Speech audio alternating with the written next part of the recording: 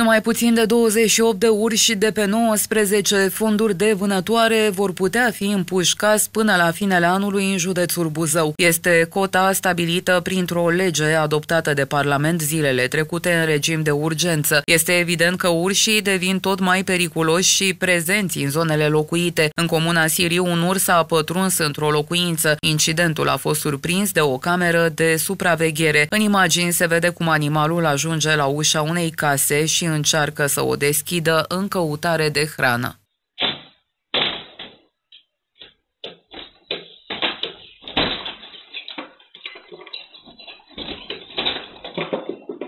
Animalul reușește să dea la o parte plasa antițânțari, sparge un geam și chiar rupe o scândură din ușa din lemn. Din fericire, locuința era goală în momentul atacului, altfel am fi putut asista la o adevărată tragedie. Proprietarii au găsit casa răvășită și au aflat cine este vinovatul abia după ce au văzut înregistrările camerei de supraveghere.